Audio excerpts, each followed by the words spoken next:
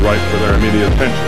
It is not as sexy or as exciting as the Iranian arms deal, but it is in the long term and more important the American people and the survival of our form government.